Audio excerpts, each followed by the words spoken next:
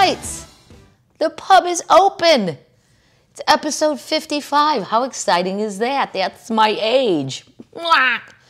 Oh my gosh. So many things, termites, so many things. What are we drinking? Well, I'm drinking a beer, just a regular Bud Light in my White Castle fancy pint glass. Um, One of the termites asked what's your favorite light beer. what's my favorite light beer? Uh, Mich Ultra. Yeah. That's not really light though. If I had to go light, I'd go Bud Light, then I'd go Miller Lite. I can't do Coors Light. My one brother-in-law really loves it, and uh, I don't know. I think you have to be raised on it. Has a weird taste to me. Raised in the rock. I mean, if I was, you know, in a desert and somebody offered me a six pack, I'm taking it. But and I would be very appreciative, and I would probably really have a different view on that. But that's just what we're drinking—a boring beer. But because I have this, it's called Day Drinking Watermelon Rosé Wine Spritzer in a can, made by who? Little Big Town, the band. Nice. Yeah, I like them. I like the way their voices um, blend together, and they can all sing really good on their own too. They're kind of like a country Fleetwood Mac, if you will. Oh, yeah. Yeah. So let's see. Like, I don't know that I'm gonna love this, but I do love the can. It's kind of the Lilly Pulitzer coloring. I like the can. Always Um, a can lady. You love watermelon. Mm-hmm. Maybe it's got to cool off. yeah, we'll let it chill. Yeah. It's nice. Fine. I don't they have other flavors. I'm gonna have to look for other. flavors. It says day drinking from sun up to sundown. They have a song called Day Drinking, which is on my pre-show music. If you ever come to a show and you're sitting there thinking, I wonder who chose this music, I did, and Paddles did. Boom! That's who did.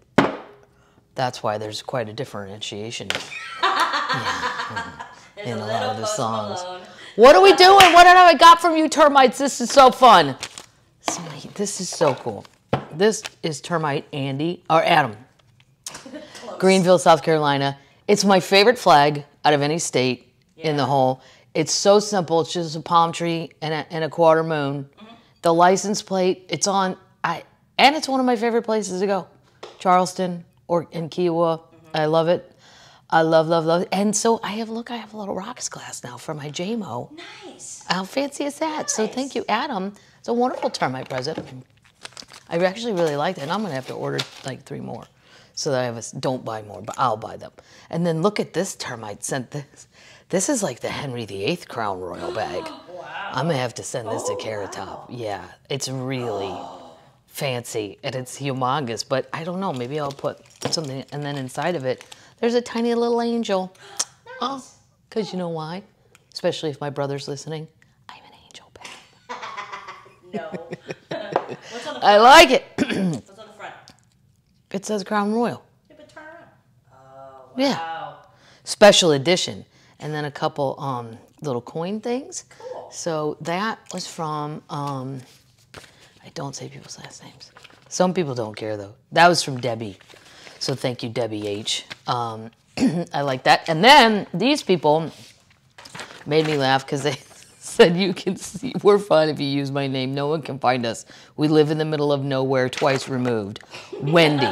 and so I'll have to tell Wendy that I got this. Um, but they sent me uh, uh, go- a golf ball again, random well hat from this country club. Now I'm gonna have to Google where this is, Discovery Bay. And then I looked at the thing. I have a scorecard too. It looks pretty. Uh, Discovery Bay, California. I don't know where that is. But I also got two golf balls that are from there. And these ain't cheap in the pro shop, people. No. These are three bucks a piece. I know that. So thank you. I'm gonna go look up where that is. I didn't have time to do that before I started this little show today. There's, Um, a, there's a yacht club too. It's by Stockton. By Stockton, so it's inland. Hey, I don't know why they have a yacht club. Maybe there's a lake. It's a bay, Discovery Bay. True. Come on, paddles, use your mind. That's right. I said it. So that's just some termite stuff that's come in that was fun and silly. And um, what are we going to eat today? What are we doing for the work of the Lord? You know what? I saw the Cheetos ice cream in real life. I couldn't pull the trigger. I know, it looks awful. Well, and then they did flaming hot. How about just let's ease into this? Yeah. Regular Cheeto ice cream. All right. I'd have tried that. The flaming hot, no. But in doing, somebody actually requested this on Twitter after I'd already bought it. No way. Yeah. Great. He's like, since you're doing the work of the Lord, could you taste the Lay's Funyuns? And I said, so funny enough, coming up this week. Yeah, I will taste the. But see, this the reason I love Lay's is because they're not rippled, and Oh, The- come on. I'm serious. Serious. I'm very serious. Um, that doesn't taste like a Funyun to me. No. No, Does it taste like a sour cream and onion chip? no. I'd say pass. Pass. Well, sorry. Not everything could be a winner. Not in this household. Not everything's a winner. And I love Lay's, but I like them because they're flat. Okay, what else am I gonna try? Kettle brand crinkle cut habanero lime. Take habanero. Kettle want these chips you really need. I know it's loud. Simmer down over there, paddles. For Christ's sake. God. They're good. I vote yes on the kettle Wow, brand crinkle. Well, I like the crinkle cut on these kind of chips because they're harder chips and they're thicker. It's really hot though. Holy shit. Okay. Have some watermelon rosé. Well, that'll make you not eat a whole bag. I guarantee you that. That's for sure. Wow. Yeah, I'm gonna let that chill. And then um, a termite brought this to a show, and now I don't remember which show. I'm thinking Atlantic City. It's Hannaford Ranch, maybe Vegas. I've never seen it. It's from Maine, um, Scarborough, Maine. Yes. yeah, it was Vegas. Was it Vegas? Okay, so thank you, termite. Whoever. I don't know if you can. Let's see if I even like it. It says, "Fabulous on everything from sandwiches and dips." On everything, sandwiches. Fabulous on everything, sandwiches and dips. All right. It looks like classic ranch. Ranch. Yeah. It's ranch. Okay. Um, I agree with their listing. It's, Cla- it's ranch. classic ranch. It just tastes like butter and milk and all kinds of bad things in a great way. You should start a ranch. It's called It's Ranch. It's ranch. Yeah. No, that's good. I like it. More as a dip. A little thick as a salad dressing. Okay. I mean, you really have to whip it around. Uh-huh. Like a blue cheese. Like you see in the sh- TV shows. Have you ever seen termites? Have you ever seen Trisha Yearwood's cooking show? I don't even like to cook. I want nothing to do with cooking. but there's something about her show. Because Trisha, she's not super skinny, which I like on a cooking show. She's I don't. average. Yeah, average. Um, pretty. I think she sings better than Garth, but I'm sure that's never being able to be said out loud in that household. oh my God. No. Um, but I like watching it because I think, really? People are just okay with that? I've never thought about putting chicken pot pie on my cheeseburger. But Wow. it looked fucking great. Delicious. Yeah, but I'm like, it's like Trisha picked up where Paula Deen left off. Mm-hmm. I'm gonna take something fattening Yep. and I'm gonna make it more fattening and southern. Nice. And then I'm gonna fry it. And then if you've never heard my friend Vic Henley, who passed away, the comedian, you should go online. Maybe we'll put it in the show notes. His his joke about Paula Deen. It was one of the funniest. And I was proud to say that I added the line and squ- ring the paper towel. Squeeze your paper towel. Squeeze your paper towel. But it's all about Paula Deen and and he, how she took the money from the diabetes pill company and then just went, "Fuck you! I'm still eating butter." All the butter. He was he that joke was so good, and then he then he would go, "I don't know, I can't do that. That's getting too old." No, it ain't. She just opened more restaurants. Paula has not gone away. There's a there's new ones everywhere. Paula's on the on the rampage. Maybe not everywhere, but in the South, nobody canceled Paula. No, people talk about cancel culture. It didn't happen to Paula. Okay, what do we got going on today, Termite? See, I well, shout out to the Tulsa Drillers who gave me that Noodler's. Um, I love a bucket hat for the lake, and uh, they sent one for Ron for golf. Well, for me, one for me, one for Ron, and one for paddles. They Yeah, they were thoughtful. Um, and uh, but I had it on, but then I couldn't put my headphones on. But anyway, that's why my hair doesn't look very nice. also, because I didn't do anything except put it in a ponytail, and I've been sweating all morning Tanya's probably a noodler. because I've been cutting trees. I'd say Tanya'd be up for noodling. She'd at least go with you. Yeah. The rest of these ladies, I don't really see it. I don't think no. No, that's why I still have an affinity towards Tanya. She'll get down a dirty hillbilly, no problem. I don't know that she'd do it. Dolly might. Yeah, Dolly probably go. Yeah. Yeah. She'd at least go along if you had a nice pontoon, I think. Do we have any news about the Queens? Yes, we do. It's all Stevie this week. Mhm. So Stevie was on a podcast. Um, they were asking her about does she want to write her memoir. Uh, it was Tim McGraw. He has a podcast. Tim McGraw always looks like he has that weightlifter oil on. What is going on? Is like like Faith Hill's so good looking that you feel the need to oil up, like with a with a tanning element in it too. Unless he's just that tan. Like, are you out all the time? I he's cute enough. I don't know what. He's adorable. But I guess if you're with Faith Hill every day, I just feel like an ugly sack of shit. So you got to do something. maybe, maybe I'll just put oil all over me. That'll help. Not when you're this white. It won't. cute. All it does is make it reflect in things. Anyway, Tim McGraw. He has a. Um, this is why if you're if you want to talk to Stevie, now's the time because Stevie loves to work and talk, Mm-hmm. and now she's got nothing to do since she canceled her deal. So boom, Tim McGraw's people got in on it. Why don't Yep. you have her on your podcast? It's uh no, I don't have these people on my podcast. There's no queens on this podcast. No. no. Um no, and I, I don't have the power. I do I wouldn't want to talk to any of them really. Cher probably. Well, Cher and Dolly. But Stevie, she's weird.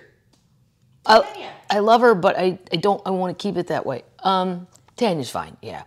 Shaka, she's weird, but in a good way. Yeah. But I wouldn't know what to say. I wouldn't know what to say to Tanya. She's still on hip reserve too. She's Yeah. on. She's she's on. can't she's on injured reserve. Her hip down a hip. Um, so she was on Tim McGraw's Beyond the Influence Radio, whatever. Um, she was talking about a potential biop, uh, biopic or book.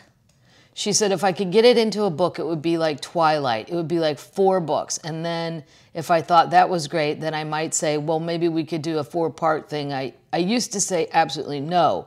Not writing a book, not making a movie. Don't ask me. And don't ask me to make a musical. I hate them. Hate them. Hate them. I do too. Uh, this is this is what I could talk to Stevie about. She said, except for Wicked. Wicked is my favorite. Everybody gets one exception. Mine is The Sound of Music. Why? Because it's historically accurate, accurate, and it involves war and Nazis and terrifying things, So does Fiddler on the Roof. and it was all true. Fiddler on the Roof. All historically accurate. Is it? I don't know. You, paddles, you can't make shit up like that about classics. You don't know that. Neither do I. I don't know a goddamn thing. I, I think I don't know anything about. Would be. But I'm agree with Stevie. And if you say you hate musicals, people get so psycho. You know, oh my God, what about this? What about this? Here's the other thing. By the time stuff got to St. Louis, like the star went from whoever it was in New York to, hey, it's amazing Jonathan in the Dreamcoat starring Donny Osmond live at the Muny. Who's calling me? It's my brother. No, Patrick. No. I called him earlier. That's my fault. Um, yeah, we never got the first run in St. Louis. I mean, it was fine, but you know, we didn't get. But sometimes you got off beaten, off the beaten path. Um, Stevie said, "I don't have a problem sharing what's happened to me in my life because most everything that's happened to me, I think, has been pretty marvelous." Somebody spelled marvelous wrong. I would be careful with some things because I don't want people to make the same mistakes that I made, and lots of them were my, weren't my fault. So I would tell them in a way where people got the message, but it wasn't gothic and super sad. You know what I mean? Oh man. No, I don't know what you mean. No. But I have more on this. Great. Yeah. Um, Stevie Nicks on overcoming drug addiction. I saved me. Nobody else saved me. That's my Stevie voice.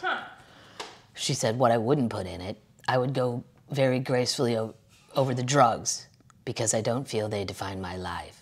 She continued, I managed to save myself on beating her cocaine addiction in her early 40s, doing a stint at the Betty Ford Center. I got through some pretty scary moments, but I saved me. Nobody else saved me. I survived. I survived cocaine. I survived it myself. Well, you got to give credit there. That's a hard one to kick. Nicks made it clear she was the driving force for getting herself Treatment, I checked myself into rehab. Nobody did that for me. I did it. And that's like with my whole life. So I would just dance over those parts just to give wisdom out to people. But mostly I would just tell all these really fun, funny stories because I would love to share those things. Um, she also, then she said about Fleetwood Mac, all of us were drug addicts, but there was a point where I was the worst addict. That's gotta suck. Yeah. Like, I don't, I don't. It's a bad Yeah, I know a lot of drinkers, drunks, just call them what they are. But you always hope that's why you do an Irish goodbye. Then you're never the worst because they don't even remember when you left. That's what, that's what I- that's what I told Lewis about Afghanistan. This is the worst Irish goodbye ever. Hashtag didn't work. Mm-hmm. Um, Stevie sounds kind of like your alien. I know Stevie's. I know I have to slow down if I'm going to do Stevie, because when she talks, it can very easily slip into my alien. Yes. Yes, I know. She said all of us were drug addicts. There was a point where I was the worst drug. I was a girl. I was fragile, and I was doing a lot of coke, and I had a hole in my nose. Okay, great. Oh, wow. Referring to a self-medication misstep she, when she treated migraines with a solution of aspirin and water that she squirted up her nose. It was all real dangerous. What were you thinking? That really didn't help our irritability levels, she said of the drug excesses. If you're not happy with someone, then just go do some coke and see much how much more unhappy you can be with them. Wow. Wow. This is why my friend Kevin said bouncing for them when he was in vet school. He's like, they, they were the worst, baby. I know she's your idol, but he hated it. They were always fighting and sleeping with each other, and I've already talked about that. Anyway, but you think this crap is helping you, so you do it because you think you're getting better and you think you're like, you know, immortal, like you're gonna live forever when you're doing Coke in the beginning. You're gonna have a lot of problems with your nose if you don't stop doing this, a doctor told her. So she did that. And then, um, so now she only smokes a little bit of pot. And she said it's all under control. Don't worry about anything. Stevie's got it. So good for you. Great. As a comedian Rocky Laporte would say, good for you, Stevie. Good for you for not ruining your whole nose because you can't fix that stuff. I actually know somebody whose nose fell apart due to um, coke. That middle part, and then it just looks like they were punched square in the face. Yeah, it's somebody that I used to work with at a restaurant. And then the problem is you've spent all your money on coke, and now you don't have enough money to fix your nose. And even if you want to fix your nose, sometimes it's impossible. Wow. Yep. That's it in the Queen news. That's all I got. Update! Oh, oh, oh, oh, oh. Liberty University being sued by 12 women claiming school policies made sexual assault and rape more likely. So maybe if these women win this lawsuit, mm-hmm. then Liberty can win their one over Jerry Falwell, and they'll everyone will be even tag team. except Jerry. Yeah. Listen to this shit though. Liberty University has been sued by 12 women who claim the school created an environment on its Virginia campus that increased the likelihood of sexual assault and rape. Lawsuit includes claims of sexual assault and accuses the Lynchburg School of creating a hostile environment toward the plaintiffs. Well, I I would think if I'm going to Bible land here mm-hmm. and I'm a chick, Yeah. Mm. The university also promoted attacks on and discrimination against women through a series of policies that discourage sex before marriage and punish those who reported misconduct. Oh, man. The plaintiffs who were not named include women who were students or employees and, and one non student who was a minor at the time. They're referred to as Jane Doe 1 through 12, 12 of them. Uh, first, the lawsuit alleges that the quote, this is how the school created the environment in three ways. They, they have the Liberty Way, which is the school's honor code. It makes it difficult to report sexual violence because it doesn't clearly shield students making the reports from punishments for infractions. So you can't tell anybody. Well, that's not. Right, so you want to be, if, you, if you're really mean, you want to be the one committing it. Right. Yeah. Right. I mean, come on. Because you know that the victim can't report it Right. or they're going to get in trouble, including being at a place where alcohol is served or being alone with a member of the opposite sex. That's included in the Liberty Way. Wait. Second, there's a tactic that condones sexual violence, particularly by male student athletes, by weighing a denial more heavily than an allegation, the lawsuit claims. That's what the lawsuit says. Third, the plaintiffs in the lawsuit said that the school engages in public and repeated retaliation against the women who've reported sexual violence. They've created. ba- ba- ba- Uh, university says, you know, that's not really our policies, but it's actually in the manual. So I don't know how you're gonna. I guess you're gonna have to get a lot of whiteout, which is not cheap. Nope. Students who were uh, they, they tried to report stuff and they just treat them like shit. Or um, one student had photos of bruising she suffered, suffered during her attack in her report, which she later discovered had been removed from her Title IX investigative file for being too explicit. oh my god. Yeah, they even took the pictures out. Wow. A second plaintiff, who was a student in 2014, said she was raped by her boyfriend, also a student she met through two of her roommates. The roommates reported that the plaintiff reported the plaintiff to the student conduct office. Oh wow. So the guy roommates, no. Great. Um, although the plaintiff attempted to make it clear she was a victim of rape, Liberty's University Student Con- Conduct Office gave her no opportunity to do so instead, and instead forced her to sit with her rapist and apologize to her roommate to her roommates for her violation of the Liberty Way. Oh my god. I don't. It goes on and mean, on. I don't know how you, if you have a girl, how can you send? Well, I don't know. I'm Catholic. I'm not a Bible person. Wow. Okay. Yeah. I have to go to a wedding this weekend, so I'll get my bit of the Bible at the wedding. Catholic wedding. Should be about eight and a half hours. It'll be great. Hopefully the church has air conditioning. I haven't even asked. I should have asked. Anyway, update! Excuse me while I get crack that Hannah, that Hannaford Ranch is really good. I'm wearing it right now. Update. Okay. My dad, uh-huh. for the record, is not on Team Free Britney. What? Nope. Come on, Jack. Lawyer, lawyer Judge Man Jack says the problem is to get a conservatorship, at least in the state of Missouri. I don't know about California, and things in California sometimes are very, very different. But for the most part, to get a conservatorship over someone, you really do have to provide to a judge, not just one judge. There's like panels of people, and it's not an easy thing to do. Then I think Lew- Lewis, Lewis told me, or, or Patrick told me, Allen Iverson had one, the basketball player. Yeah, because he was going crazy and spending all his money and shit and like out of control. Anyway, the problem is those things are sealed. Ah. So we don't know what Britney is or isn't really doing. Now, I'm still on team. Instagram. The only reason, the biggest reason I'm on team Britney is I actually have friends in my phone crazier than Britney. And they're running loose. They are running loose in Colorado. You know who you are. Um, I mean, I've got Texas. Texas. I think we know what's Georgia. Oh yeah. Mm-hmm. Yeah, a lot going on in Georgia. Yep. One from Utah. Hmm? And they're still my friends. Um, but I think they'd be better if somebody had some sort of Control over. Britney Spears' dog was close to death in her care, as fathers say, as father says her problems are far worse than known. Now, I'm still for freeing Britney, but we don't know No. what has been submitted. And then the judges that all approve this, they're not fucking around. Like, you know, you can't just come and say, I think my I think my sister's crazy. And then she won't get off Instagram. Right. Britney ain't. There's a more topless photos. I know, stop. the makeup. You do that after you're free, Yes. not post pre freedom. Freedom. There's a, maybe a new twist in the Free Britney narrative stemming from reports that one of her dogs, I saw a picture of one of them on uh, Instagram. I don't know what they are. They're small, but I don't, it's not a Yorkie. I don't know what it is. Maybe somebody, maybe a termite knows.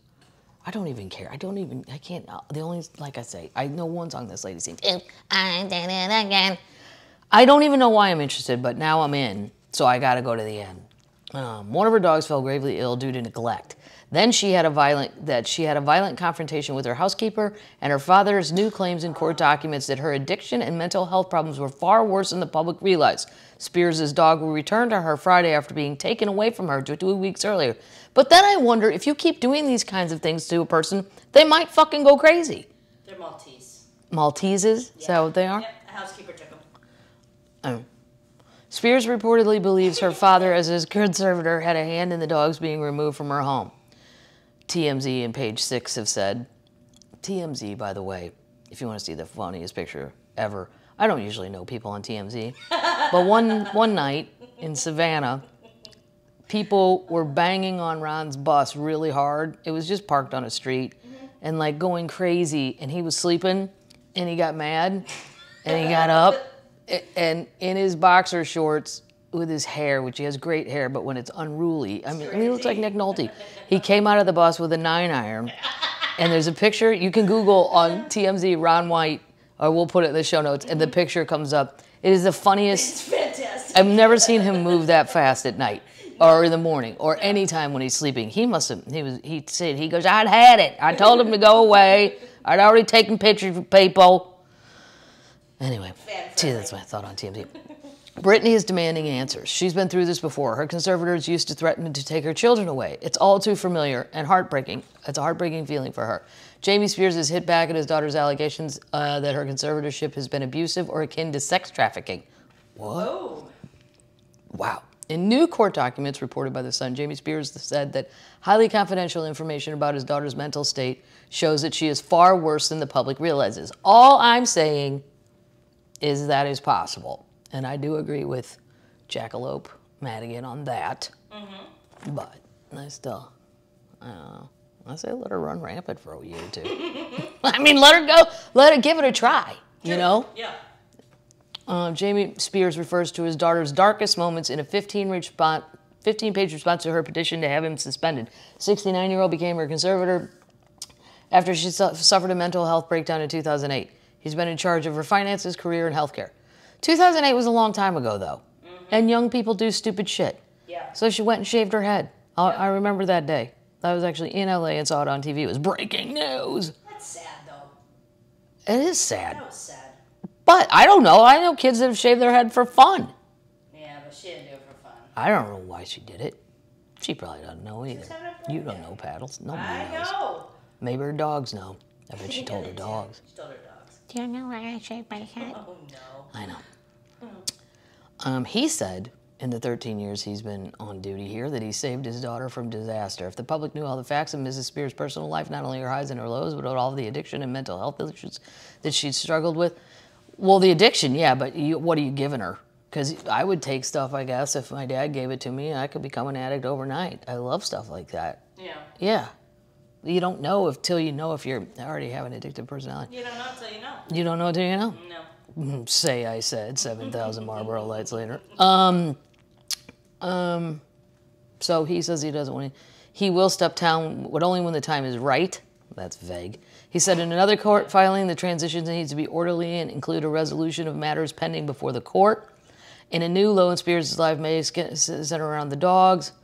Um, it's not clear if he had anything to do with the dogs being removed. It's so fucked up. The housekeeper took both dogs to an emergency vet who expressed alarm at their conditions. Um, at that point, it was decided that Spears' dog sitter should take custody of them. When she confronted the housekeeper last week about the dogs, things got heated. TMZ said Spears was upset that the housekeeper had taken photos of the dog with her phone, possibly to do- document oh their alleged neglect, and to send ja- to send to Jamie Spears. A scuffle broke out over the phone broke out with Spears' sources saying she merely hit the phone, but the housekeeper told the police she called the cops that she struck her arm, causing her to lose grip on the phone. Uh, Okay, well I ain't calling the cops over that. No. God. Mm. So, that's our update. I don't know. I don't know termites. I think most of the people, most of the termites on board with this show, probably are just distant observers as I am. You know, not really highly invested. No. I am in the story, but not in Britney. Um, Oh. well, I don't know the lady. I know, but I do want her to be able to run amok for a few years and see what happens. Yeah. See if she can handle it. Yeah. Why not? What is she, 39 years old or some crap? I mean, if the people I mentioned in my phone are making it, I think Britney could too. Yeah. This is just a public service announcement. It's not really an update. It is an update. okay. Update! Just so people know, TSA extended uh, the mask rule into January. I think people should know that if they're flying Yeah. okay? And I'd go get the N95 one because I've been running around with dumb ones. I love the St. Louis Blues. Like fucking, I have so many masks that I'm sure aren't really probably doing anything. But it seemed like they were fine, the cloth ones, for a while. I'm a Libra. You know, I mean, I'll wear anything. I want to get on the I want to get on the flight and have a mask on that says, "Do you can I have a vodka cranberry?" to see how many people would just get me a vodka cranberry. Walk into the Delta Lounge and then walk up to the bar. Put it over Hi. your N95 mask. Yeah, o- over it, over it. Oh my God, that I didn't have many updates this week, but I have a lot of news, a lot of great news. Now, I'm telling you, people, it's a good goddamn thing we live in America. Because if you're living in the United Kingdom, your McDonald's have run out of milkshakes.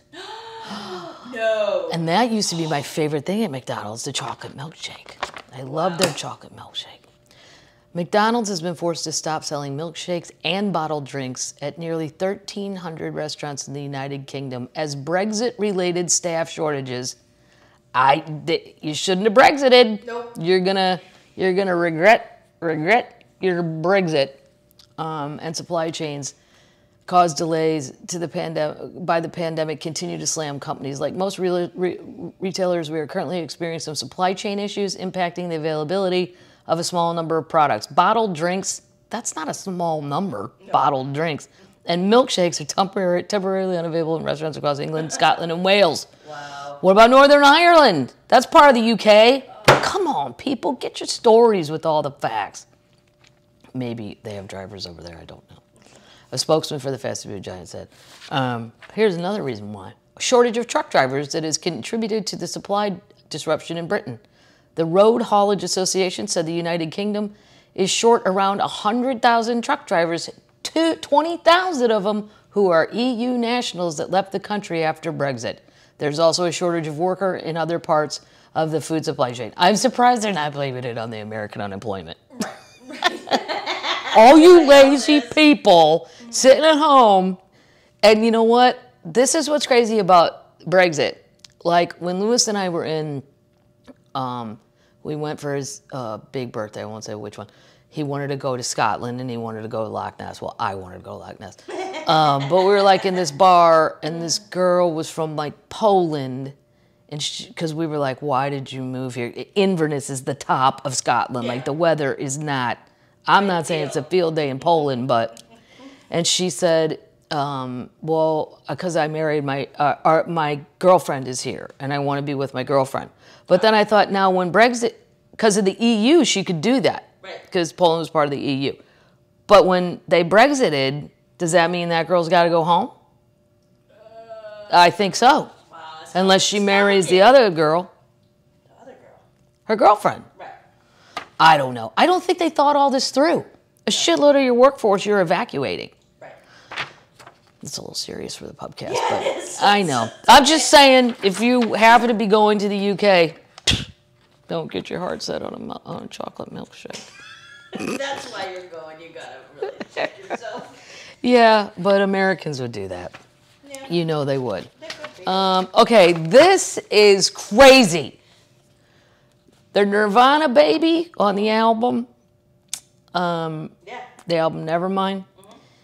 His name was Spencer Elden. He's suing the band for child sexual exploitation, saying he was unable to consent to having his image used for the iconic 1991 album. What? I know. Well, I'm sure he should talk to his parents. Well, I'm going to tell you how it happened. Okay. Um, Nir- Here's what they should do. I don't know what they did pay. They don't say, did they pay the baby back then? Did they pay the baby's parents? I'm sure they had to. Meh, doesn't sound like it. So I'm saying, give Spencer, who's got Nirvana's money? Courtney Love. Courtney Love. Well, think you're barking up the wrong tree, Spencer. Dave Grohl. I'm th- yeah, Dave Grohl's probably got it. Give the guy 25 grand, call it even. Somebody give. Just a round number for your nude baby picture. If somebody, if I had a nude baby picture and somebody offered me 25 grand, yes! Fuck, I'd do it for 7,500. Go. Five. We'll call Jack. Five. There's no pictures of any of us older kids before age like 10. and they're shitty Polaroids at that. No, I was actually for Comedy Central or something. They're like, "Do you have any pictures like when you're four or five? I'm like, "I'll call headquarters," but mm, I'm thinking those boxes got lost in a move, if they were even taken. Yeah. All out. He claims, Spencer claims, that the ban violated federal child pornography statutes and argues child exploitation. Um, in a lawsuit that named the photographer Kirk Weddle and the labels behind the album's release, Elden claims he has suffered lifelong damages. Oh, come on. Mm. Yeah. Nobody knows it's you. And nobody bought the There's a picture of the adult Spencer. Right. I mean, if I if I saw him at a bar, I wouldn't go, "Holy shit, that's a baby from Nirvana's album." How would I know that? And nobody bought the album because of you. It's just a white baby. I didn't like that the baby was underwater and I didn't see. I did remember being disturbed by the album cover because the baby was too little to really know how to swim and there didn't seem to be an adult underwater with it. you think too much. No. You just gotta turn up Smell Like Teen Spirit. He says his legal guardians never signed a release. Well, that's a problem. Authorizing the use of any images of Spencer or his likeness, and certainly not of commercial child pornography depicting him. He's also suing for distribution of private sexually explicit materials, negligence, and what's described as sex trafficking venture. He was forced to engage in commercial sex acts while under the age of 18. What? What? I don't know. Just reading. He's seeking damages, attorney fees, and an injunction to prohibit all parties from continuing to engage in the unlawful acts and practices described herein. And, it, and he wants a trial by jury. The permanent harm, here's what he says he suffered includes, but is not limited to, extreme and permanent emotional distress with physical manifestations, interference with his normal development and educational progress, lifelong loss of income and earning capacity. What? Come on. Loss of future wages, past wages, future expenses for medical and psychological treatment, loss of life, and loss of other uh, and other losses to be described and proven at the trial of this matter. Here's how it happened. Weddle was a friend of Spencer's father, Rick, which is how young Spencer ended up on the album cover. Weddle calls up and was like, "Hey, Rick, want to make 200 bucks and throw your kid in the drink?" Rick drink. told NPR, I, the drink, it sounds like my dad. In 2008, I was like, What's up? And he's like, Well, I'm shooting kids all week. Why don't you meet me at the Rose Bowl, Rose Bowl, throw your kid in the drink? And we just had a big party by the pool and no one had any idea what was going on. Spencer was reportedly sent a platinum copy of the Nevermind, the album, and a teddy bear by Geffen Records in 1991 Teddy bear. just bringing up bad memories, Geffen Records. That's what you're doing. He recreated the Elden Spencer recreated the images multiple times over the years and had the word "Nevermind" tattooed on his chest. Okay, so you were all in for a while. Fuck you, Spencer. But in a 2016 interview with GQ Australia, he revealed that he'd recently become unhappy about the artwork. It's fucked up, he said. I'm pissed off about it, to be honest. Here's this is where I if I'm on a jury, I'm like, nobody knows the baby's you. Right. You should have talked to your parents about it. Yes. Your parents fucked up. Why'd you throw me in a pool for Sue your 200 parents. That's right. You sell that platinum album, Spencer. Yeah. You gonna give that back? This is a sad one of the saddest things I've read. Oh. I know, but it's funny. Okay. Uh, because everybody on Twitter was super duper funny because I posted it. Eating one hot dog takes 35 minutes off your life. A study, a study suggests. Well, in that case, I'm actually dead. Yeah. I'm a ghost. I'm a ghost right now mm-hmm. that's doing stuff. I can, yeah, I love hot dogs. I think I've made that very clear throughout the years in my act. And you know, I remember my mom when my younger sister was in a high chair, mm-hmm. cutting up Raw ones. raw, Yeah, I remember that. raw cold hot dogs. And I remember like the littler kids in the family just fucking chow, loving it. Delicious. Yeah, no ketchup, just a plain. We threw it like a dog, just threw it on the high chair. And you go, here you go. But they were just, mm, um, and they couldn't. Like sometimes Patrick could eat like four, and I'm like, Yeah. this can't be good for a baby, right? And then somebody But my Something about worms. You might get well raw meat. I mean, my mom was a nurse. I trusted all that kind of shit that she did. I'm like, surely she's read about this. We're feeding these babies, an eight month old, the high chair. Here's a raw hot dog, buddy. How about a beer? Researchers released a nutritional index this week aiming to inform guidelines and help Americans act, achieve healthier and more emotional, stable diets. There were hot dog carts, by the way, in Vancouver, Canada, and hot dog places. Lewis, I am a traditionalist. I just want a hot dog, like off of New York or Chicago. I don't want it fancy.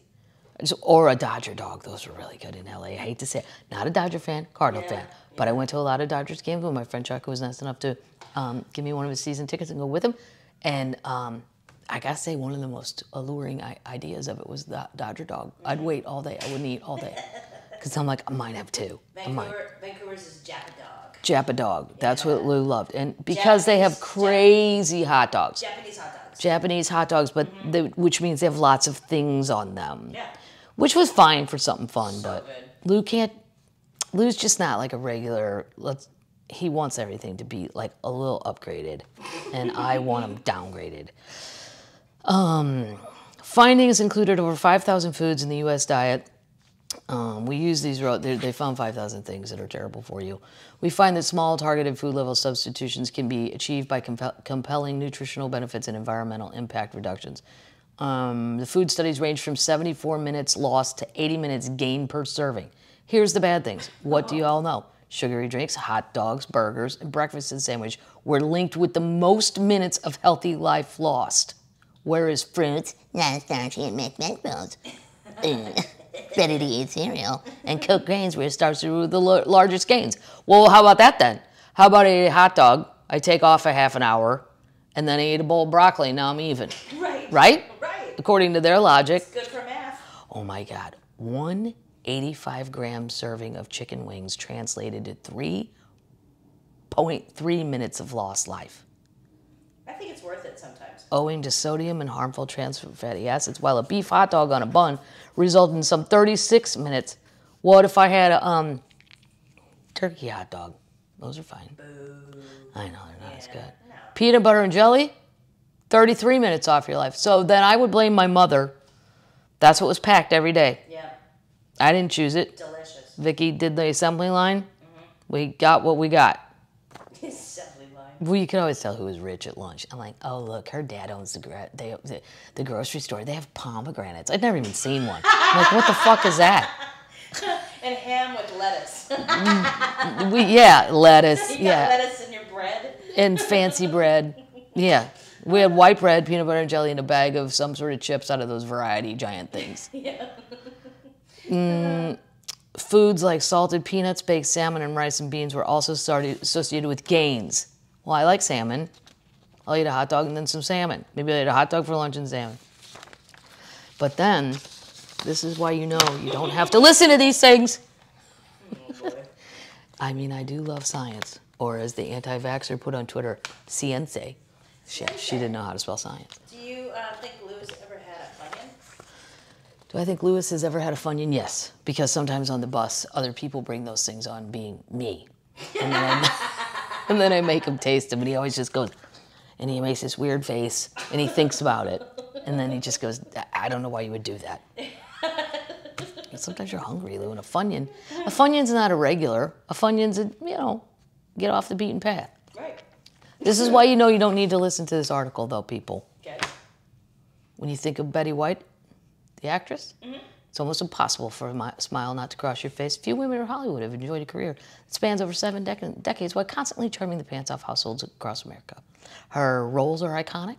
We know all know that. This month, she celebrates her 99th birthday. Nice. Here's some quotes from Betty White. Okay. Um, enjoy life. Accentuate the positive, not the negative. It sounds trite, but a lot of people will pick something out to complain about rather than saying, hey, that was great. It's not hard to find great stuff if you look. Her other piece of advice eat hot dogs and drink vodka. Probably in that order. Boom. Good girl. She's 99. Nice. She don't seem like a vodka person. Nope. No, right? Um, she feels seems like a sangria lady. Um, then she gave a couple other people. Um, here's how you're going to find meaning in later life. Pay attention, paddles. I am. You'll live to be a thousand. Okay. Keep busy. Don't focus everything on you. That wears out pretty fast. It's not hard to find things you're interested in, but enjoy them and indulge them. And I think that can keep you on your toes. Make yourself useful. Keep your mind sharp. You know how she does it? How do all old people say they do it? Crossword puzzles. I know. I love crossword puzzles. I, I'm old like that. I'm the lady that will have an actual. Um, I like the LA Times better than the New York Times one. New York, the New York Times one, I didn't even know that it started out easier on Monday and got harder as the week goes on. My mom told me that. Like, my parents are so much, their basic education is so much better than mine. Like, my mom can finish Mondays in like 15 minutes. Everything. She's brilliant. She's very smart. And I'm like, I got Tuesdays. Took me four hours. I'm missing like seven words. Can you help? Bob. Yeah. Okay, this is um this little something for you auctioneer people. Who loves an auction? Me? No, paddles, you don't care about an auction. No, I don't care. ah, you know people that like collectible stuff. I don't really care. I don't care about all that, but I think that this is kind of cool. Okay. Items belonging to gangsta, gangsta, Al Capone are being auctioned off in Sacramento. Some possessions of notorious gangster Al Capone are being sold at auction later this year in Sacramento. Now, see, you probably don't need the same money you'd need at the Sotheby's auction for the um. I forgot my plate with my lighter. I just saw it. I'm like, shit. I have to. I, Sad I, for a second, didn't I did feel sad for a second. Fire. you know, you could probably afford something. This is not like an art auction. Sonny Capone, the only child of the infamous Prohibition era gangster Al Capone, had reportedly been living in the Auburn area in relative obscurity. His daughters are now selling his estate, including Al Capone's Colt pistol that Al dubs Sweetheart, his diamond monogrammed watch, diamond studded jewelry bedroom, and then bedroom furniture from his Palm Island home, family photos, a home movie of Capone and his associates, a prison letter sent to Sonny, according to his statement Monday from Witherell's Luxury Asset Auctioneers and Appraisers. Oh, it's a luxury. I don't know. Maybe it's not affordable. These items have been in the family since the 1920s, and if and anything happened to us, nobody would know the stories that go with these items, said Capone's living granddaughter, Diane Capone. Diane is worried that the piece of history would go up in flame. This is the second summer we've had to, our suitcases packed in case we were going to be evacuated, and we knew there was no way we could save these things that belonged to our grandparents. She's trying to preserve history, and is, al- she's also determined to set the record straight on who she remembers as Papa. Uh, now putting his letter from Alcatraz for his son up for sale. If you think you know Al Capone, once you've read the letter, it will change your notion of him. Just a loving father to a loving son. Over and over again, he refers to my dad as son of my heart. Oh, How dramatic. Son of my heart. so. And that's not the language or the words of a man who is hard hearted, Diane Capone said. Those are the words of a man who's a very devoted father, and there is a part of this story that we wanted to tell. That's nice. The auction takes place October 8th. If you're up by the Sutter Club in downtown Sacramento. See you there. Yeah. He was convicted of tax evasion in Chicago and transferred to Alcatraz. I've been to Alcatraz like every time I go to San Francisco. I can never not go to. I just love it. I love the history. And there was a warden there named Madigan. Really? I believe his first name was John too, which is my dad, my grandpa's, everybody's name. Yeah, he looks like my grandpa. No, there's a familiarity. I mean, he def- yeah, he was a war, and he was apparently a really nice warden. Is he in your family tree? No, because we don't know any Madigans that went west. We only know the ones in Ireland and then the ones that came here, and St. Louis is as far west as we know. So I don't. I'm sure it's the same clan. I mean, eventually, yes, that man has to be related to me somehow, but I don't know. But it was weird to see John, John I think it was John or some name in our family. There's only five names the guys use. But it was just to see Madigan. You're like, ooh, wow, he was the one. And the, but then I looked him up. They said he was one of the nicest ones ever. The nicest warden ever. Yeah. Let me taste my chilled watermelon drink. Watermelon rose. You know what? It's nice. It was 100 degrees and you were on It's a 100 degrees, and if it's a hot summer, it's a for a hot summer day, it's refreshing. It's got it, and not too much watermelon, um, driving you crazy. Go find another flavor. Yeah, I want to try another flavor. Okay. I don't really do. I think most of the termites that are involved in this podcast know everything going on. Really, pretty informed about COVID and stuff. But this one, this is when the South. Hold my, hold our beer, Mississippi. Oh no. Yeah. Mississippi officials warn against using livestock ivermectin to prevent COVID after rise in poison control calls. What? Here's Oh my god. I have two articles on this. I'm not gonna I'm not gonna read them all. What? I know because I, I I got deep into this. But here's what still no one will say Okay. in every article I read, which was like six. Where did this rumor first start? I'm gonna guess the facial book. Q. Q. Mm-hmm. That's a good guess. Mm-hmm. A Klan rally, Maybe. maybe. Mm-hmm. Mississippi Poison Control is reporting, and you know, and I love Biloxi. I don't want everybody in Biloxi to get sick and die. Come on, how am I supposed to get down there to Mary Mahoney's and get crab claws? I love that place. It's my favorite, one of my probably my favorite re- restaurant in the whole world. so.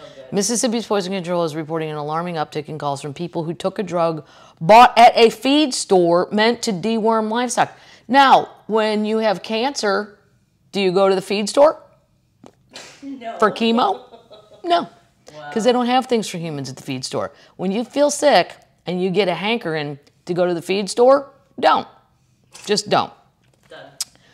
Some believe it will help with COVID 19, but veterinarian experts warn if you buy it at a feed store, it could possibly leave you paralyzed. What? Yeah. Every day, every day, people, phone calls, phone calls coming in. Raina Boudreau at Double M Feed and Pet Supplies describe. She said it started a month ago. Oh my god. It's been flying off the shelves, and as of right now, it's very hard for us to even get. She put out 10 tubes of ivermectin paste for livestock this morning. I'm completely out right now. That's a few hours before closing. She said a woman even came in from Mississippi to get some for her farm because it's hard to get your hands on it right now, even for the vendors. They put out a warning. Meanwhile, Tractor Supply, which I love Tractor Supply. so great. It's they have the greatest. Um, it's the greatest flashlight ever uh, that I have from Tractor Supply. Um, I give it out as wedding gifts. Tractor Supply is starting to display, and it's funny until you have it, and then you go, I don't know how I live without it. It's also so heavy I could beat a rodent. Like if if a raccoon jumped at me, boom, boom, No problem. just startle it. Tractor Supply is starting to, to put signs in the store. Tractor Supply is having to put. When you use a product that's highly concentrated that is designed in oral form for a horse or cattle, it is easy to overdose, Dr. Mike Strain of the Department of Agriculture and Forestry said. It gained popularity over social media as a co. Okay, which, means social Facebook. media? Yeah, Right, it's the facial book. Once again, Mark Zuckerberg, not responsible. Hey man, it's just a bulletin board. I can't help it if you know the morons want to share fake shit. Um, the FDA has not approved it for that person, and it explicitly tells for that purpose, and explicitly tells people not to take it for COVID. Merck, the drug manufacturer, says the current data does not show it is safe or effective to use for anything other than what it's been approved for. It's, it's approved for use for parasites, lice, and some skin conditions in humans, as well as a, a deworming in animals. Okay, if you have COVID, that doesn't mean you have lice. No. I can't. Who can have these conversations? I'd let them take it. Go ahead. Except then that's another hospital bed that's taken for somebody who might have just had a regular heart attack. Yeah. Um, in higher doses that will cross, in high enough doses that will cross the blood brain barrier, and what it does, it can basically result in paralysis. There, the, then it is very difficult to treat, I bet. Um, wow. I Mississippi, stop it. Come on, I want to come back there. I, there would be no reason to come if you're all paralyzed and sitting at home or dead. Um, wow. Yeah. So that, and then, as if that wasn't enough, Lake of the Ozarks, Missouri. Oh no. Oh no. My mayor, once again, the lake made the news this summer for being, and last summer, for being completely out of control. Super spreader. super so everything was a super spreader and it's a huge lake, and we were just super spreading everywhere you could spread. Everybody was really into super spreading. And then, you know, my mom and dad are running around, and I don't want them running around. But uh, the mayor of Lake Ozark, Dennis Newberry. I don't normally read you guys Lake Ozark things, or sometimes I, I spend time at a lake in Tennessee. I don't read those things because they're not national, and I think no one will give a shit. But this one went national I think it went international. because of what he he posted this on the facial book. Oh God. Dennis Newberry posted this. He's the mayor of Lake Ozark, Missouri. A dear friend of mine, Dennis Miser, is at a central Missouri hospital with COVID. Dennis is the owner of Mohick Barbecue in Cuba, Missouri. Now, I've been to Cuba, Missouri. I'm going to have to stop by this bar. Well, no, there's probably COVID everywhere. I've known him for over 30 years. He keeps a boat at a marina here in Lake Ozark as a Hail Mary pass, but he spelled it Mary, M E R R Y, like Christmas. Oh, no. I have I have procured, which means stole Right. in hillbilly talk. I procured some some some moonshine out of my brother's closet. As a Hail Mary pass, I've procured some ivermectin for him and will be driving it to him today. He's in the hospital. Oh, this friend, please pray for cooperation from his caregivers and hospital administrations to allow his loved ones and friends to step in and assist with his life. If we do nothing, his life will surely be taken from his 18 year old son, his family, and friends. I need your prayers and commitments to be comments to attempt to gain favor with the powers that be. Oh my God. Uh, first of all, our, our mayor is not a doctor. Nope. Our mayor is a realtor. He was going to drive poison to the hospital because I guess if you're going to poison a friend, you want him to be in the hospital. That's the best place to be when the paralysis starts kicking in. Oh my God. Um, so I saw this posted on Twitter. Somebody posted it. and I saw it yesterday and I thought, I'm not going to say anything about that because I actually thought this could be a parody, oh. a joke. I really thought, I don't want to repost it if this dude didn't really do it, so I'll check tomorrow. So I went on the facial book and he had taken down the post. oh. Yeah. You can't, because everybody's like, this guy's got to resign, right? Yeah, he's he's sneaking poison in, and I love how he thinks he's getting in the COVID ward. You have you never have you not heard any of the news? People die alone in COVID. You don't get to go in and visit your loved ones with COVID. Hey, don't believe in the news. Oh my God! I feel very sorry for anyone working at the Central Missouri Hospital that he speaks of. If you mm-hmm. see this man, he's white, he has brown hair, and he looks to be about I don't know, 35 to 40 Get him. check his pockies. Where's your ivermectin? I know you have it. Fucking A. This is oh where you just go, people. What are we thinking? That's, That's- crazy. Yep, that's how we make the national news. Here's some great national news. Not like my moronic. That's the mayor. Just got to say that again. The mayor. Mm-hmm.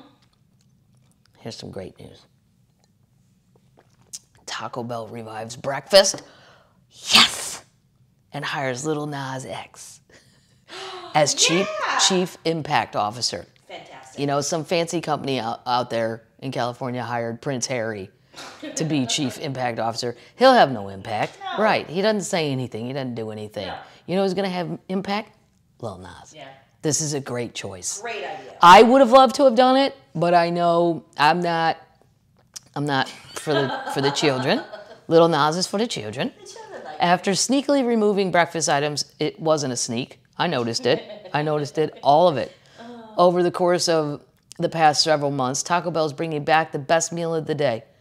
Better yet, the fast food taco chain is launching a massive breakfast campaign with former Taco Bell employee. Oh, he used to work there.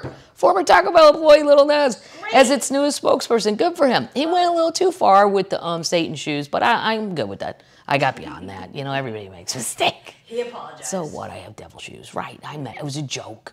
It didn't go well.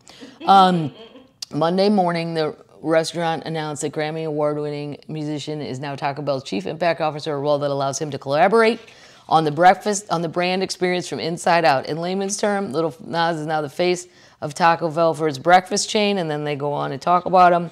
And then here's what's coming back. Okay, revamped. Cheesy toasted breakfast burritos. Never had one. Nope. I just like the tacos. Hash brown toasted breakfast burritos. That might be all right. That sounds good. Grande toast breakfast burritos. I don't want toast in a breakfast burrito. Anyway, um, they're all. It's all going to be back, and it, 90% of the location nationwide should have this available by mid-September. So if you're on your way to work, and you're thinking maybe I'm going to grab something, there you go. Okay, this is We'll what. have to go taste. Yeah, we'll do a taste. Yeah. And I'll put it up on the um the Instagram. This is so this has to be a show note picture so people can really get the gist of this. Okay. Um, this is in Australia. Helenia Ality, a lady, was browsing the spice aisle of an Australian supermarket when she came face to face with a huge snake. Yep. hmm The head of the 10 foot long non venomous diamond python emerged through a space in the shelf above the spicy jars in the Sydney store. Sydney! It's not like they're out in Perth or somewhere remote where you're like, yeah, well, I could see how a python. It's fucking Sydney. That's like saying Los Angeles. It's like big oh. city. Oh my god. Oh my god. Oh my god. I, and where did it hide? And how did it get to the aisle? How, the, the things are unpacked. How is it? Because in the picture you can see it looks like a normal, regular American grocery store. If you're thinking, is it weird? Is it stuff in boxes? No, they're placed out on the shelf. Listen to this shit, though. And you would think. I didn't initially see it because it was curled up way in the back behind little jars of spices. I kind of turned to my right and it poked its head out. Uh, Helenia, who's coincidentally a trained snake catcher. What? Do what? Do what now? Okay. Said the snake's head had came within eight inches of her own. You Oh know. I know a python doesn't isn't poisonous. I know they squeeze you to death, but they can bite. Yeah. I yeah, don't care. I don't want to see its open its mouth. I don't want to see it at all. No. But she said, "How crazy is this?" Thankfully, I have a background in snakes, so I was pretty calm about it. It definitely shocked me a little because I wasn't expecting it. Supermarket chain Woolworths confirmed in a statement that a slippery and rare customer was spotted. Oh, they try to make it funny and gentle. A slippery and rare customer was spotted in the spice aisle on Monday at its stores in the suburb of Glenorrhea on Sydney's now northwest outskirts. Oh my god. Once it was sighted, our team members reacted quickly and calmly to cordon off the area for the safety of customers. Uh, Helena said she used her phone uh, to video the snake, which will put the video, you see, see, just coming out, as it extended its body from the shelf into the aisle before reporting the intruder to the supermarket staff. So she's down there filming it. She retrieved a snake catching bag she had from her nearby home and caught the snake. Who doesn't? I mean, look, this lady should get free groceries for for a long time, at least a month. I'm, yeah, well, a well, because they would have had to evacuate the store. They would have had to call a snake catcher. You're just really, really life. lucky She should get for life. for life. I don't know. That's a little too much reward. Oh, really? I'm gonna ask you to get a python. Well, Come on. they just lucked out. She caught the snake, which she then had um, retreated back, which had then by re- retreated back into the shelf. So she had to go get it. Then she released it to the nearby woodlands. It's unclear how the snake entered the supermarket. Well, that's a problem. That's a problem, Woolworths. And isn't it weird they have Woolworths there? I only think of those as a kid. Well, they have in the UK. Really? Oh. Yep. They're, they're, when I see one in a like I think downtown San Antonio still has a the signs there, Yeah. like the old timey sign. Uh, And now it's a diner. she was trained to catch ve- venomous sna- uh, venomous snakes when she was a volunteer working for a Sydney wildlife rescue organization several years ago. Suspected the snake was look was a male looking for a mate. I knew straight away it was non venomous. It was a non aggressive and it wasn't going to be a problem for anyone except Kathleen, who had a heart attack when she saw it. If anything, I think everyone was a little bit excited. We were all in lockdown, so it was kind of the most excitement we've had for a while. What a good attitude that lady has. And that store really should make a big deal. Her picture should be in the front. I would, I'd ask for a lot of shit if I was her. Yeah, I would too. Listen, the odds of me being here and you not having to deal with this, Good for you. very good for you. All right. All right. I don't. I'm just gonna tell you guys this, in case you feel the need to just be dumb for a minute and look at something that you just go, what? Tom Hanks, the actor, for those of you who haven't kept up, has a son named Chet. Oh no. Now, Tom has a son named Colin that I've seen in a lot of my shows on Netflix and all that, and he's a wonderful actor, and and he's uh he's cute, but more more than cute, he's a really good actor. It seems like a very, you know, Normal person. regular. Chet, however, um, first, he makes a lot of videos on Instagram. We will, Paddles will put in the show notes so you don't have to hunt them down. I'm not saying this is does anything good for your psyche or your intellectual well-being, No. but it, it's hard to believe this is Tom Hanks. His kid, he has five. I looked it up. Is he really? Yes, Wow. and four or five. I'd say, I want to say five. Oh, oh, well, yeah. Well, this lady, Colin is his half brother. This Chet Hanks's mom is Rita Wilson. But every time I see a video of Chet, because he's he's all over the map. Like he's an anti-vaxxer, but then he'd say bad things about Trump. Like none of it is even a cohesive thread, right? Right. And then sometimes he talks like with a rapper accent, and he's like super white, but he, um, and then sometimes sometimes he doesn't have it at all. He's confused. He's very confusing, but I think he does it. He's a rapper. That's his thing. Oh, Yeah. good for Um, him. But here's where I just go, what? Chet Hanks, whose rap name is Chet Hanks, but he just changed it to a K, I mean to a X instead of a KX, KS. So he took Hanks. He kept the whole idea of a. That's rap name is one that is fits. it's not Your your name.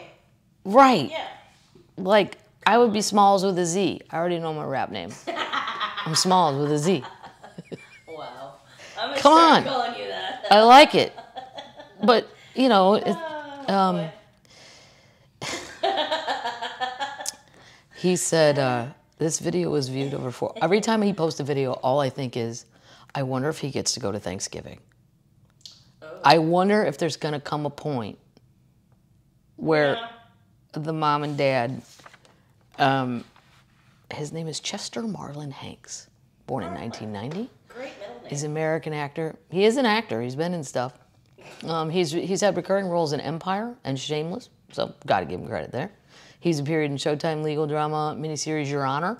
He has a viral song called White Boy Summer, and I watch. I don't know what that meant. I don't. I was like, oh my, I don't know. Summer. I don't know what White Boy Summer, but he's really determined to have one. We'll He is having a white boy. He's the third child of Tom Hanks, and the first child born to Hanks and re- actress Rita Wilson. He he went to Northwestern. He's not dumb, right?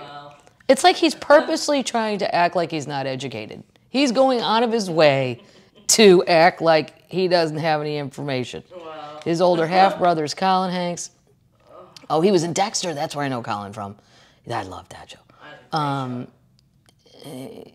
he oh for a while he was Chet Haze. Hey baby. Wow. That didn't work out. Okay. Yeah.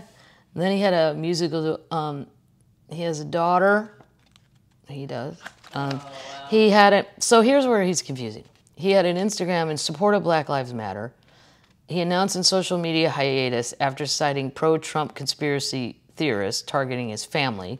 Q believers had falsely accused his father of being a pedophile Oh yeah. and satan- satanic. Yeah, I remember when they said Tom, Tom Hanks was a Satanist. I'm like, "Y- you didn't even come close to hitting the nail on that head. I mean, there's some people that I go, maybe, you know, he's not Tom Hanks. Come on now.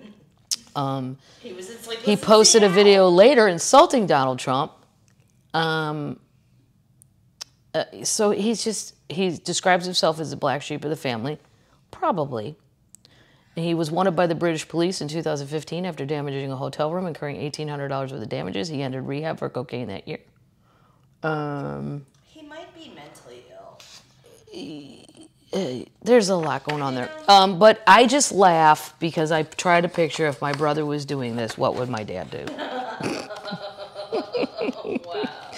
And then I, I don't know what goes on in families, but it's just, it's amusing from a distance. He caused a lot of rumble this week with his anti-COVID thing. This is what he said: "It's the motherfucking flu. Get over it." And then it went on. I watched the video. It went on, but it got viewed 400,000 times. And he just says, "If you're in danger, stay inside. Stay inside. I'm tired of wearing a motherfucking mask." He doubled down Wednesday in another video. Just like me, you have the right to be mad. I have the right not to get that shit. He said, calling the vaccine an experimental government injection.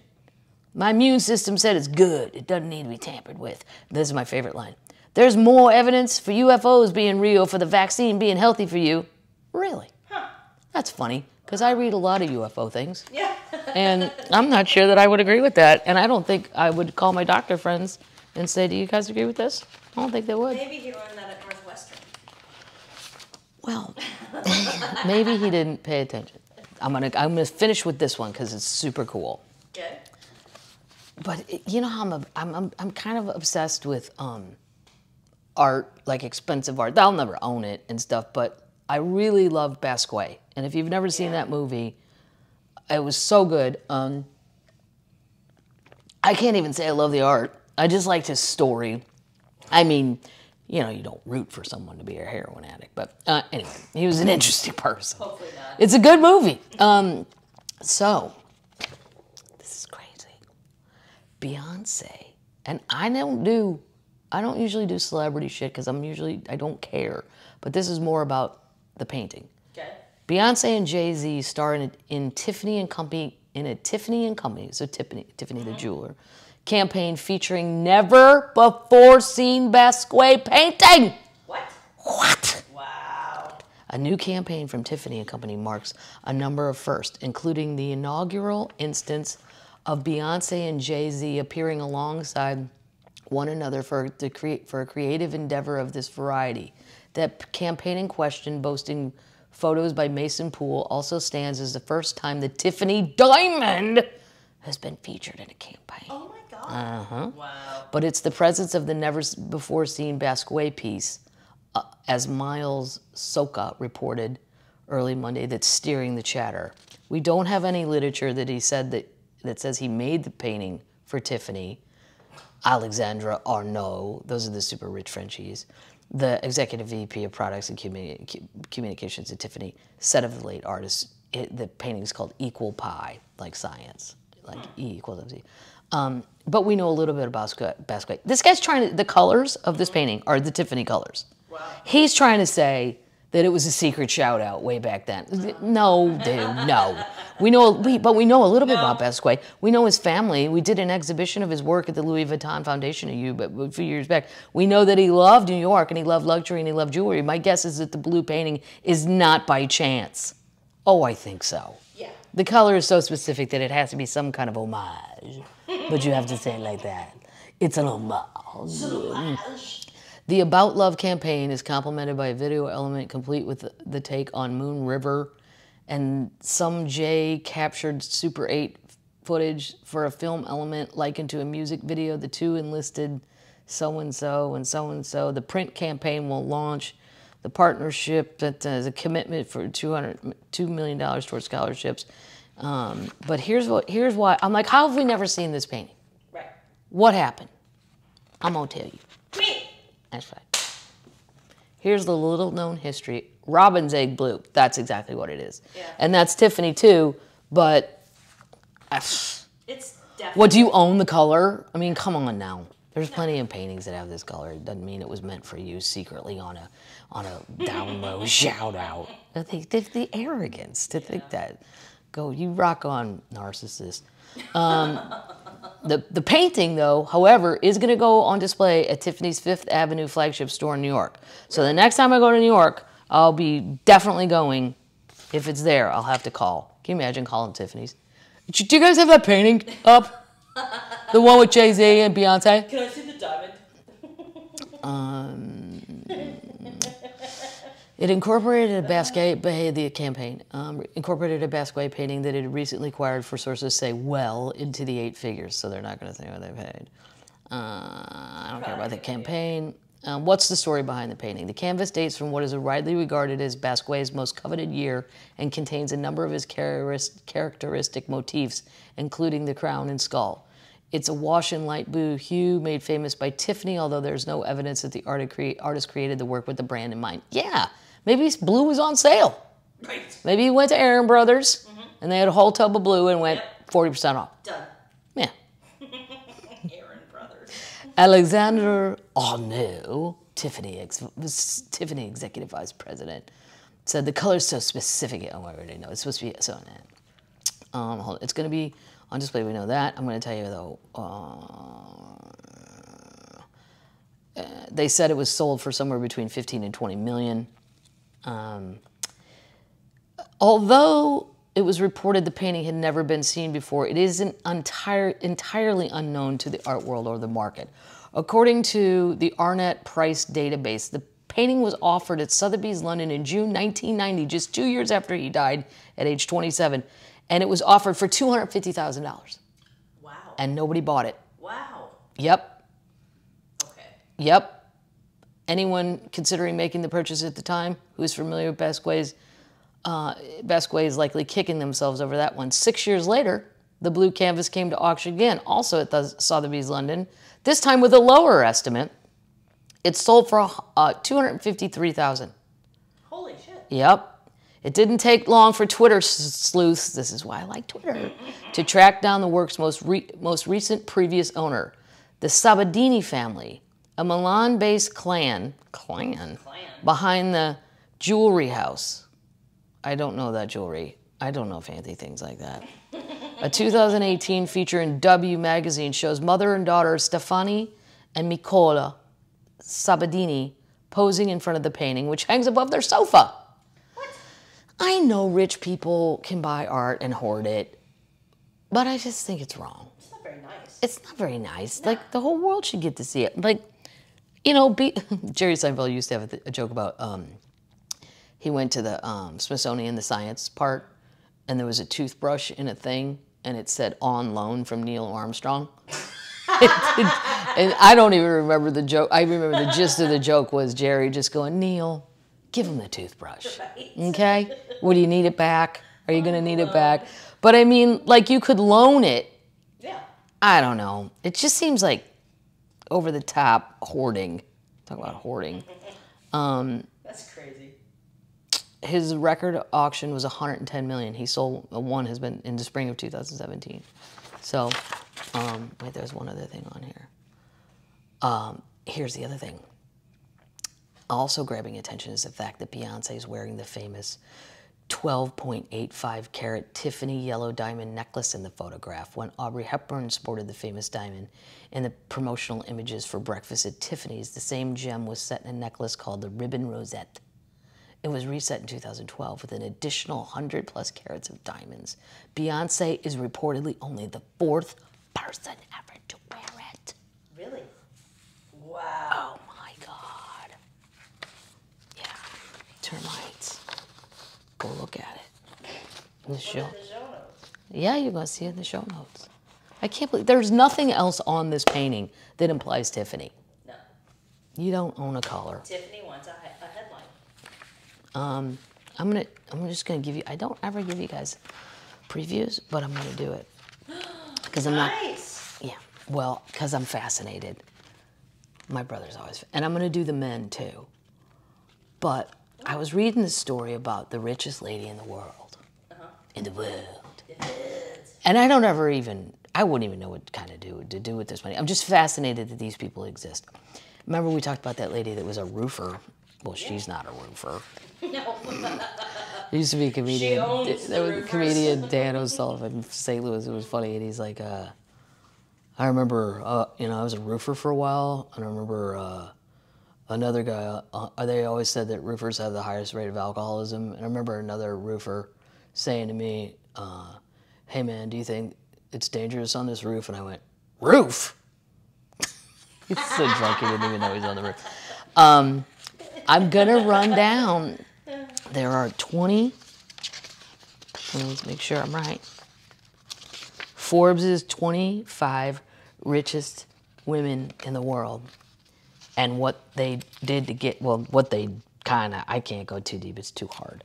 But uh, what they did to get it. Nice. But the the richest one, because I don't know a lot about this lady, I'm just fascinated. Uh, her name is François Bettencourt Meyers, and she's pretty. I don't understand why she's wearing Harry Caray glasses, but you know she's French. Be weird. She's the richest. And her, she's the richest, and you'll think of her now every time you go in a drugstore because you know what her family did. they think-. Think Frenchie. Mm-hmm. Think a drugstore. What product? Face cream. You're close, but what's the family name? Olay.